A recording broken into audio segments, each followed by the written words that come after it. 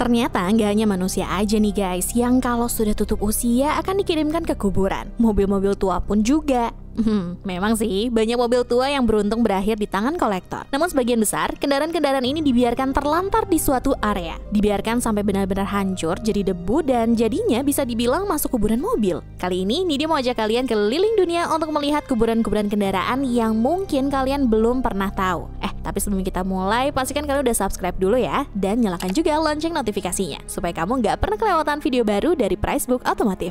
Yang pertama, kita ke kota kecil di Swiss, yaitu Kaufdorf. Kota Kaufdorf ini memiliki jumlah penduduk sebanyak 1020 jiwa pada tahun 2008. Sementara jumlah mobil yang ada di kuburan mobil Kaufdorf ini ada 1500. Loh, kok bisa lebih banyak ya? Ternyata eh ternyata tempat ini dulunya adalah sebuah tempat kampakan mobil yang dimiliki oleh Walter Maserli dan dia sudah membangun kampakan ini sejak 1933. Tipikal kampakan, misalnya awalnya berniat menjual onderdil-onderdil mobil yang masih bisa terpakai. Namun, misalnya benar-benar hanya mengambil dan menjual jeroan dari mobil-mobil ini aja, sementara body shell dari mobil-mobil tersebut malahan dirawat olehnya dan disimpan di tempat ini. Nah, saat Maserly ingin pensiun dari bisnis ini, dia masih memiliki koleksi ratusan mobil dari kurun waktu 5 dekade. Dan kemudian anaknya lah yang melanjutkan koleksi Maserly ini. Hingga akhirnya di Kaufdorf ini terdapat 1.500 mobil yang terbengkalai sejak 1930 hingga awal 2000-an. Ih, ngeri deh. Tapi sayang nih guys, karena ternyata pada tahun 2008 pemerintah Swiss memutuskan untuk membongkar tempat ini dan nasib mobil-mobil ini ada yang dilelang, ada juga yang dijual langsung.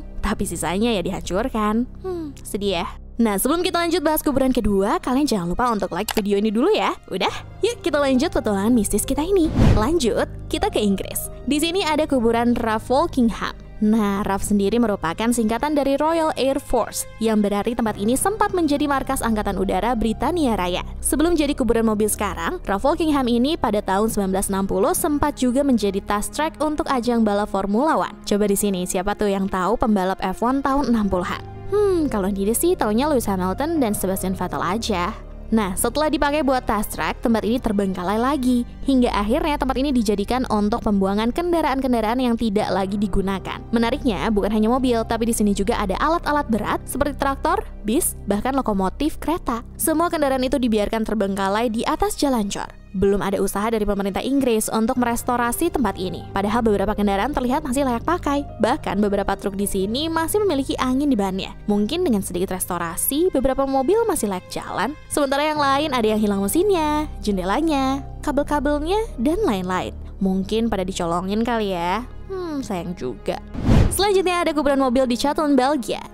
Hmm, meskipun Belgia terkenal dengan coklatnya, siapa sangka kalau negara ini menyimpan tempat menyeramkan. Kuburan mobil Shetland ini menjadi salah satu tujuan destinasi wisata yang tepat jika kamu seorang petrolhead. Tetapi pastiin harus pemberani ya, karena banyak banget mobil-mobil klasik terkubur di dalam hutan yang mencekam ini. Legenda setempat sih, ada yang mengatakan kalau mobil-mobil ini ditinggalkan oleh tentara Amerika Serikat sekitar 70 tahun yang lalu sesudah perang. Selama 70 tahun itu, akhirnya pohon-pohon tumbuh menutupi mobil-mobil terlantar ini. Dan inilah alasan kenapa di sini banyak model-model mobil pasca perang sampai sekitar 10 tahun setelah perang itu usai. Nah, karena sudah puluhan tahun diabaikan, mobil-mobil yang ada di sini bahkan ada yang sudah menyatu dengan pohon, tenggelam ke tanah, dan tertutupi dengan tumbuh-tumbuhan yang menyeliputinya. Namun pada tahun 2010 kemarin, pemerintah Belgia memutuskan untuk membersihkan tempat ini beserta empat kuburan mobil lainnya. Dan hanya dalam beberapa tahun, mobil-mobil tersebut sudah habis dihancurkan. Ya, jadinya kita nggak bisa ke sana deh.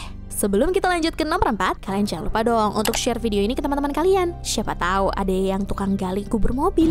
Selanjutnya kita terbang ke negeri Paman Sam. Di sini nih dia mau bawa kalian ke daerah Crowford Village. Tepatnya di tepi jalan tol 319 Crowford Village. Di tempat ini kita bisa menemukan truk-truk tua yang terdampar dan terlupakan. Mobil-mobil berkarat ini diparkir berurutan dari yang tertua sampai yang termuda oleh pemiliknya Pat Harvey. Di area ini terdapat kurang lebih 30 mobil klasik, keluaran mulai tahun 1900-an awal hingga 1970-an. Kalau kamu ke Amerika Serikat ini bisa jadi tujuan wisata nih. Ya, anggap aja museum outdoor. Keluarga Pak Harvey sendiri sebenarnya menggunakan mobil-mobil besar ini dan membutuhkan onderdilnya untuk menjalankan peternakan keluarganya yang sudah turun-temurun. Tapi kalau mobil-mobil tersebut sudah tidak bisa dipakai, Pak Harvey memindahkannya ke tempat ini. Tempat ini bisa dibilang hidden gem untuk mereka yang suka sejarah dan mobil-mobil klasik. Selain itu, tempat ini juga jadi populer di kalangan penduduk lokal dan fotografer yang ingin punya background foto yang unik. Mobil yang ada di kuburan Crawfordville ini sangat beragam, mulai dari truk-truk Ford hingga merek klasik DeSoto.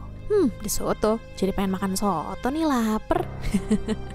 Eits, tahan dulu. Sebelum ini kasih tahu yang kelima dan terakhir, tolong kalian jangan lupa ya buat like, comment, share, dan subscribe channel YouTube Pricebook Automotive. Udah? Let's go.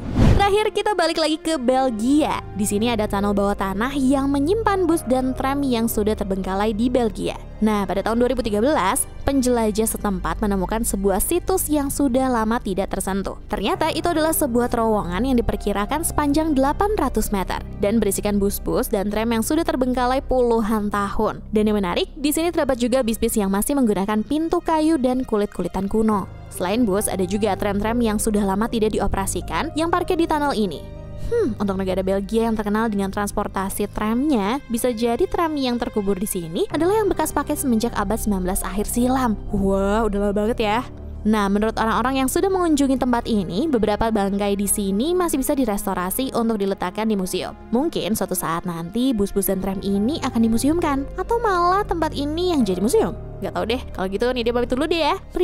小薇来。